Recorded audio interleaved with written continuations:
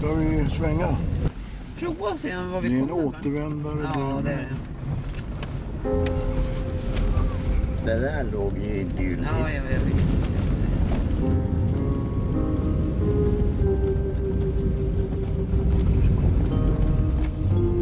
Här är en gammal kurs. Skär.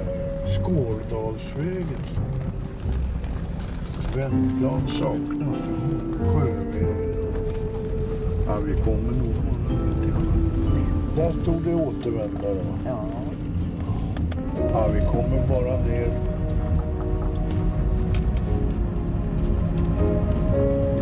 Nu jobbar det det Hörru du. Jag kan stänga av det här skrället en stund. Eh, vretarna, gamla Vretarna. Letar efter en adress? Ja, jag letar efter Vretarna. Har ni ingen mobil? Jo då, vi har mycket grejer men det hjälper inte så. Nej, det är så här va. Att när jag var tre, fyra år. Då hade min pappa och mamma en gammal torpstuga här uppe i Vretarna. Okej. Och vi bodde bara här ett par, tre år högst. Och sedan flyttade vi väl ner till Tumba tror jag det var. Ja.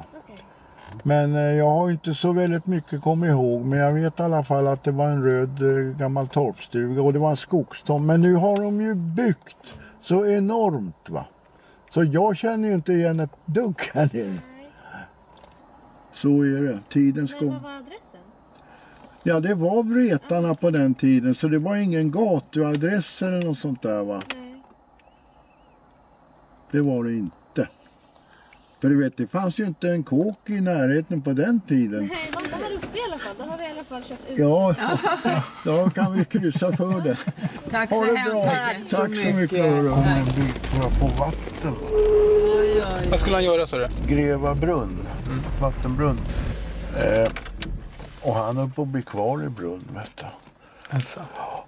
För att han kom ner och det var sån där jävla flytsand och skit vet du. Och morsan stod där uppe berättade han och hinkade upp det han grävde loss där nere vet du. Och han fick ju vatten men han skulle vilja vara med en meter till för att få lite mera vatten. Va?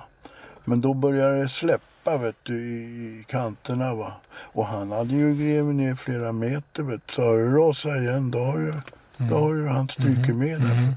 Morsan hade ju ingen möjlighet att hjälpa till. Och han hade ju inte några möjligheter att kunna sponta. Vet du. Han hade ju inte så gott om virke och grejer och sådär. herre. Här blommar väl häggen? Är inte häggen? Ja, det hänger. Mellan hägg och syren. Ja, precis. Vad fan är syrenerna? Hade man varit lite smartare så skulle man ju naturligtvis ha varit där emellan och tagit några foton. Och, medan man liksom, kåken och det stod kvar där. Så man, men det är lätt att vara efterklok. Nej, du vet farsan och jag tog en sväng och vi, det är ju många år sedan, det var ju på 60-talet någonting. Då tog farsan och jag, Ja, ja. farsan och jag en sväng? Ja, Och då fanns stugan kvar va. Då hade de inte fullbyggt så jäkla Ja. mycket. Men det är ju många år sedan. Det är Hörru du, alla de där 45, åren just 50 nu år gör att vi är röksugna. Ska vi släppa en rökare?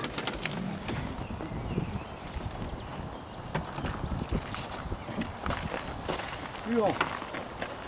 Men det ligger ju kåk där bakom också. Ja, det kan vara i det där området också. Det är Men vad jag kommer ihåg så var det, så var det skog runt omkring. Så det var ingen som man såg någon sjö.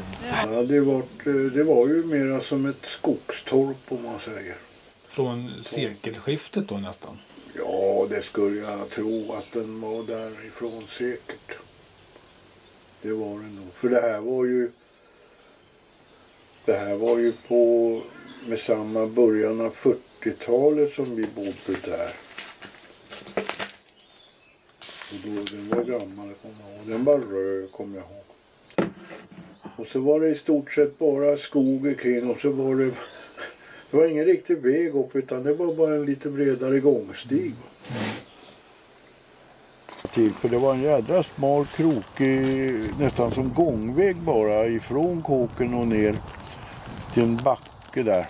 Har du inte fått frukost idag? om jag ihåg. Så att... Ja. Men hade han bil då? Nej, nej, cykel. Nej men kära nån. Och det var det jag skulle säga när jag pratade om Norga kvarn där borta. Ja. Han cyklade ju dit upp till kvarnen och han fick köpa, det var ju kristid då va, så det var ju ransonering och kort på allting i matväg. Han fick köpa mjöl och grejer där uppe va.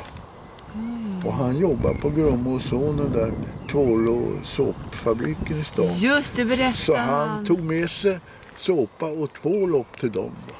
Så fick han mjöl och... En byteshandel då? Och, och, och sån här spisbröd som så Ja, knäckebröd. ja, ja. Om de tog.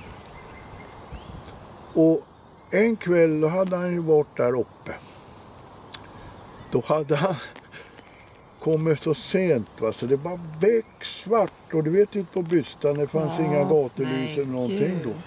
Så han sa det, jag gick den där jädra gångstigen och vinglade mellan stenarna så hade han ju fullt last på pakethållaren och styrt. Han hade ju lyse på cykeln va. Så han fick gå och lyfta framhjulet och snurra på hjulet. Så lyset lyste till. Så kom han ett par meter ifrån. Ja visst, vad fan skulle jag göra? Men gud! Han provade ju med tändstickor men de blåste ut.